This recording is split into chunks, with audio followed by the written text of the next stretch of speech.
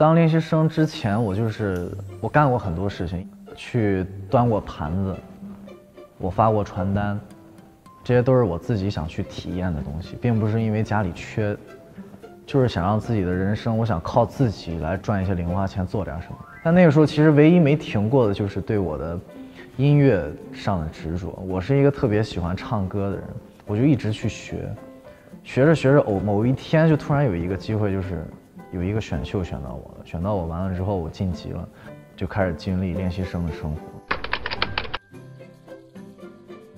你如果一味的想去要出道，而你不去为此付出努力的话，你出不了道。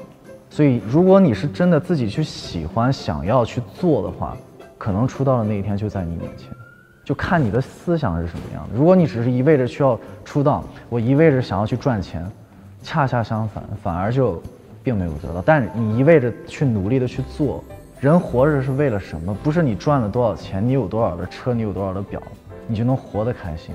你赚的一切的东西都是为了自己的生活，不管你有钱没钱也好。只要你的生活是开心，这就是最大的富有。所以你说出道与不出道的问题，对我来说，能出就出，出不了我努力了，那我命不在这儿，我认了。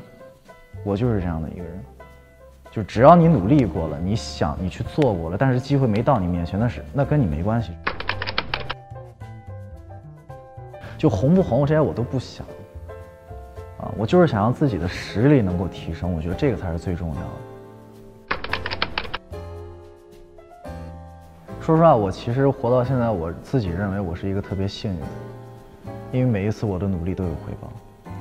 但是其实也有很多不幸的，就是很多人其实真的努力，但是没有回报。但是你努力了，就是比没有努力更强。可能没有最后达到你想要的东西，但你一定会从中收获到很多的东西。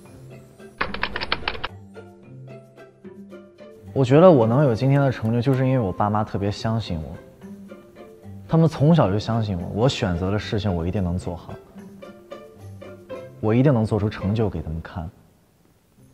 以前我发传单的时候，下着雪我还在外面外面发，我爸开着车路过就过来，为了看着我在车里面哭，我也是长大了他才告诉我。那我爸就是让我在雪里头发，他宁愿自己在车里面哭，他也不下来拉我回家，因为他不惯我，才能成就今天的我。这就是家人。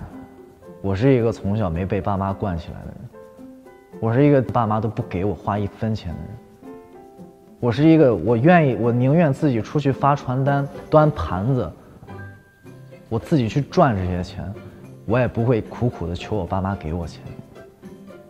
而且我当我说我要退学，我要去发传单，我爸妈会犹豫，一定会考虑，但是他们最后给我的结果就是你去吧。我说我想学音乐。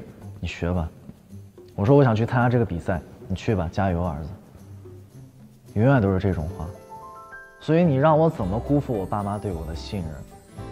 我为了我爸妈，我今天就算我就是再累、再苦、再累，还是被人黑得五体投地，我一样坚持，因为我为的是我自己，为我的家人，我不是为任何人而活。所以家人的鼓励跟支持特别的重要。如果家人给了你支持，你还是做不到。那你就真的要认了。我回国，我回国到现在，除了今年以外，我一直都在被人骂，我什么都没说，我一直沉默。我看谁都是在黑我的状态，我连人都不敢见，那个时候门都不敢出，活动我都不想上。那是我最黑暗的经历。我经历的事情太多了，你们没人知道。我为什么能说出这些话，就是因为我的经历。我当时就一个想法，没关系，你们随便黑我，我总有一天我证明给你们看，我告诉你们什么叫时间证明一切。我用实力证明了我自己，我用我自己的真实，我从来都没变过。你们看到了真正男子汉之前，我上那个节目之前，我就是那个性格；我真正男子汉之后，我现在还是这个性格。但为什么我同样的性格回来的时候就一直被人黑？可是到了现在，我还是一样的性格，因为在我最苦、最累、最难的时候。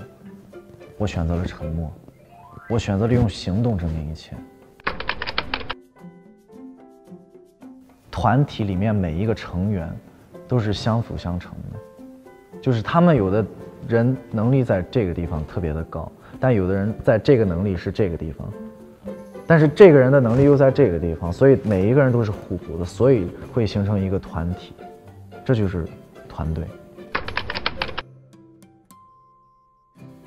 有一种老式的方法，就是看脸，但是看脸的同时，这个人又具备唱跳。都有能力的状态下，这个人就可以当 C 位。C 位不是一个人永远在前面，C 位是换着来的。什么叫风水轮流转？如果你想去争 C 位，OK 啊，你有本事，你把你的唱歌跟跳舞练到比别人都好。你想要 C 位，你用你的能力去争取，而不是光在那站着说我想要 C 位。C 位是给有准备的人的。这个人如果没能力，即使长得好，我也不会给他 C 位。什么叫真正有能力的人？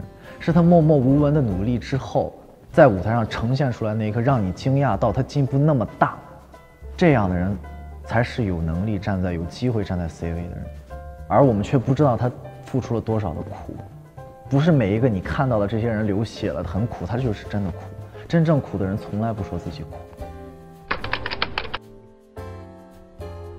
很多粉丝喜欢的东西都不一样，有喜欢性格的，有喜欢长相的，有喜欢实力的，有喜欢各种各样的，这你没法去奠定。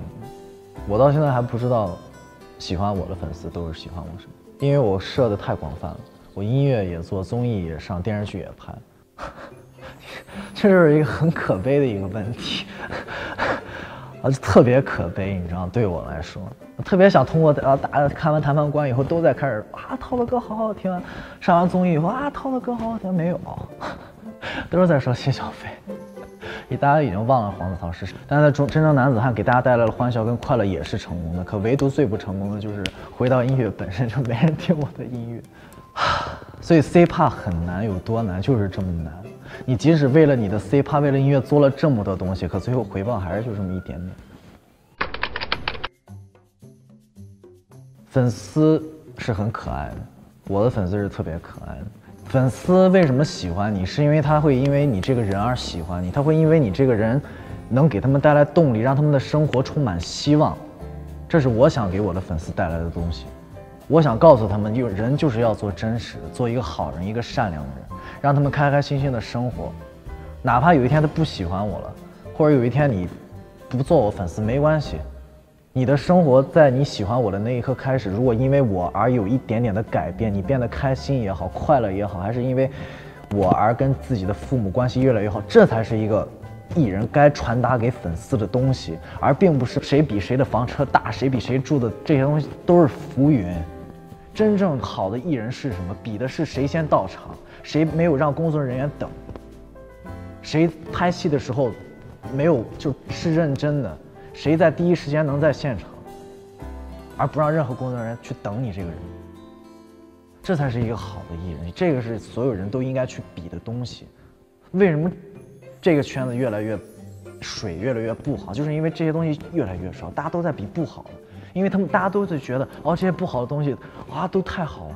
因为他们被所有的东西冲大冲惯了头脑，觉得我们太厉害了，我有那么多粉丝，我很火，不知道自己是谁。现在社会不就是这样？你是艺人，都搭的啊，涛哥涛啊，哥哥都在叫哥，叫什么姐？因为自己比别人小那么多，别人还要叫你哥。就这，我看这种现象，我就特别，所以别人叫我涛哥还是怎么着，啊，千万别，我还小。大家都觉得男团其实会更吸引很多粉丝的目光，女团其实就，啊，我估计也没什么人看女团，所以大家都不愿意去投这个钱做这种项目，啊，这就是他们不敢去尝试嘛，因为怕他们的钱白投。我现在看的市场就是，其实跟组合的所有成员跟艺人一点关系都没有，啊，全部都是很多老板。没办法，因为那些老板就是觉得，因为他们自己没有什么演艺的经历，他们就是为了赚钱。很多老板就是觉得，所有老板都是这种心态，所以所有老板做出来的东西都是一样，所以这些都人火不了，跟组合没关系，就是他们背后的人，老板跟经纪人，因为他们不懂，所以做出来东西是失败的，完全不行，因为这个东西不真实。它是一个虚拟的东西，而且你说这种不真实的东西跟真人在一块儿，我一定愿意看真人，因为真人他是发自内心的。你说他失误，失误了，可能就是你要看整个真人的反转，就他的努力的一整个成长的一个过程，虚拟没有，你只是在用某一些方面去调他的东西。但而且其实两个你看起来根本不冲突，你喜欢看这个，看完你再看那个，市场那么多，你，对吧？我觉得一点都不冲突。反正我自己一定喜欢看真人，我不爱看那些虚的假的东西，没意义。为什么中国音乐现在没有人关注？因为音乐不赚钱，所以大家都不做音乐，所以音乐市场起不来。但我一直这么坚持做，我的歌永远都是免费的。我就是想让更多人知道我的歌，我慢慢慢慢，十年一定会越来越多人知道。我用那么多的时间去铺垫整个 C-pop，从我这一代开始，我就不认这个命了。我花一百年、两百年时间，我用 N 个人我去玩 C-pop，我不信 C-pop 起不来，这就是我的信念。我想要做的一支团体是真正的 C-pop 团体。如果当十一个人出现，里面音乐的因素有中国风，他们跳的舞蹈里面有中国风，他们的 MV 拍摄都是中国风，一条龙。属于真正中国人的东西，我相信，如果这种东西当它出现了这一刻，所有的中国人都是沸腾，因为他们没有见到过这种这么充满中国风的东西，这才是属于中国人应该有的东西。我就是想做一支这样的女团，所以我来了一零一。我希望就是这个节目能够打造出一个很有质量的真正的女团。我可能那没有办法，就是。节目播完了之后，我还能跟他们在一块儿，但我希望我能通过这个节目，那传递给更多的东西，包括所有的一一百零一个女生也好，还是给观众也好，我希望他们看到的是更多的正能量，和通过这个节目给他们传递更多的快乐。